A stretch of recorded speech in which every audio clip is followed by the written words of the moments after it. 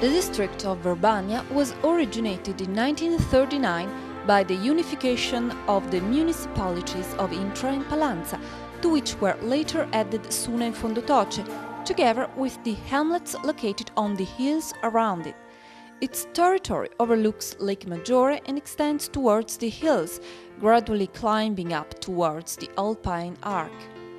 Many are the opportunities offered to the visitors staying in Verbania, trips on the lake, visits to the parks and gardens, excursions, sightseeing tours of the interland, a great museum patrimony, and numerous interesting religious as well as historical sites. The artistic culture and the landscaping values of the Verbania area are witnessed by the Landscape Museum, founded in 1909. The departments of archaeology, painting and sculpture are seated in Palazzo Viani Dugnani, while Palazzo Biumi Innocenti houses the Department of Popular Religiousness, which presents a collection unique in Europe of about 5,000 painted votive offerings.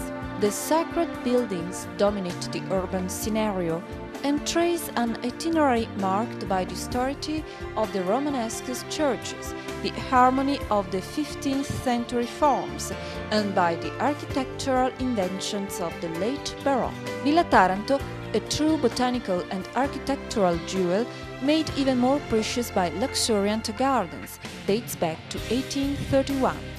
It was the Scottish gentleman Neil Boyd McEacharn who desired and actually succeeded in realizing one of the most beautiful botanical gardens in the world.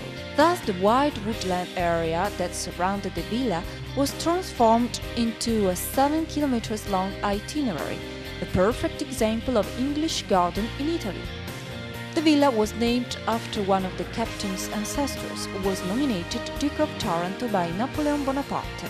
To enrich his estate, the captain traveled several times around the world in search of rare species and investing in this project most of his great patrimony.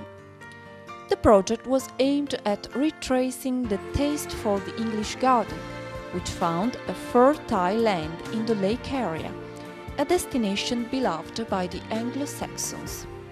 Strolling along the alleys of the garden, one can admire countless rare and precious botanical species. In 1931, in 1939, Captain McEacharn donated the estate to the Italian government and in 1952 the gardens were opened to the public.